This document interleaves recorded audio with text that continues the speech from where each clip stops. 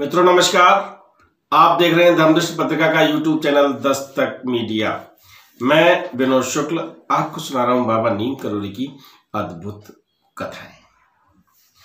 अद्भुत कथाओं की श्रृंखला में मैं आज आपको इलाहाबाद लिए चलता हूँ। और इलाहाबाद में संगम तट पर। गंगा यमुना सरस्वती। और जो लोग वहाँ पर गए हैं, उन्होंने वहाँ पर लेटे हुए हनुमान जी के दर्शन ज़रूर किए होंगे। यहाँ पर संगम है, वहाँ पे किला है।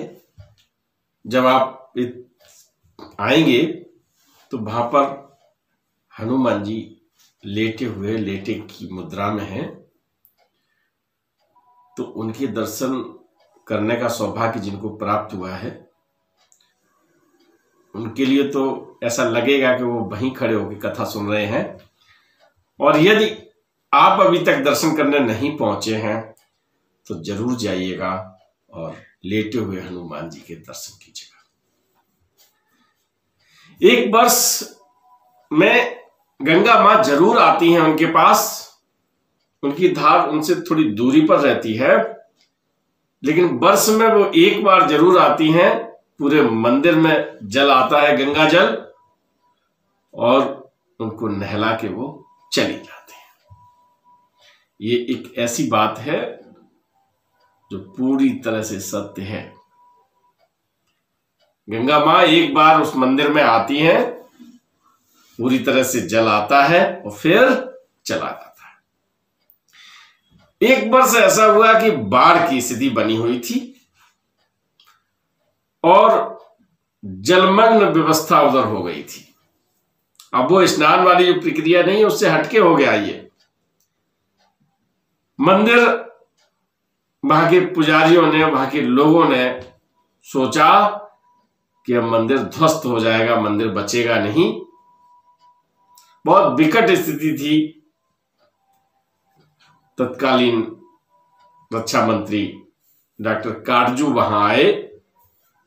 उनसे लोगों ने गुहार की, उन्होंने वहाँ का निरीक्षण किया। मतलब कोई कुछ भी कीजिएगा, इस मंदिर को बचा लीजिए, लेटे हुए हनुमान जी को बचा लीजिए। काटजू ने कहा कि किस व्यक्ति की, किस मानव की ये औकात है जो हनुमान जी को बचाए? हनुमान जी तो खुद रक्षक हैं। हनुमान जी को कोई मानव नहीं बचा सकता। वो स्वयं सशक्त है। वो चाहेंगे तभी ये मंदिर पूरी तरह सुरक्षित रहेगा। बहुत दिनों से वो जलमग्न रह रहा था मंदिर, पूरा क्षेत्र ही बाढ़ग्रस्त था। लेकिन एक बात है, हनुमान जी के स्वयं अवतार बाबा नीम करोरी है। और नीम करोरी महाराज अगर चाहेंगे तो ये जल स्तर यहाँ से उतर जाएगा वो याद कर रहे थे, भक्तों से बातचीत चल रही थी। और आप जानते हैं कि भक्तों की जब पुकार होती है तो भगवान दौड़े चले आते हैं। भगवान नीम करोली बाबा आ रहे हैं। उनकी एक जीप थी, जीप पे बैठे वहाँ कुछ ही मिनटें गुजरी होंगी। और वो वहाँ पर आए। तभी लोग कहने लगे, अरे बाबा जी आ गए बाबा जी आ गए, नीम करोड़ी बाबा आ गए। महाराज जी वहाँ पहुँचते हैं। महाराज जी से सभी लोग भक्त वहाँ कहने लगते हैं कि महाराज जी, मंदिर खतरे में है और मंदिर को किसी तरह बचा लीजिए। हनुमान जी के मंदिर को बचा लीजिए। महाराज जी कहते हैं कि हनुमान जी को तो केवल हनुमान जी बचा सकते हैं। हम भैया कुछ नहीं कर सकते। हम क्या कर सकते हैं? हनुमान जी खुद ही बचाएँगे उनको। और ये कहते हुए जीप से उतरते हैं, जल लेते हैं थोड़ा हथेली में और उसका आचमन कर लेते हैं। आचमन करने के बाद कहते हैं, सब ठीक होगा। और बैठे गाड़ी में और चले गए। आश्चर्यजनक बात ये रही कि उसी रात से उस स्थान का जल स्तर घटने लगा और दो रात, रात्रि गुजरी, मंदिर अपनी जगह आ गया। हनुमान जी अपने बिल्कुल वैसे ही मंदिर को कोई क्षति नहीं तो आप ये समझ लीजिए कि हम, आप सबसे लेकर जन सामान्य से लेकर, जो वीआईपी दीर्घा में आते हैं, रक्षा मंत्री, प्रधानमंत्री, राष्ट्रपति, ये सब जान गए थे कि ये हनुमान जी के अवतार है। मित्रों जब कोई चमत्कारों की श्रृंखला प्रश्नगत करता है तो एक दर्द उभरता है।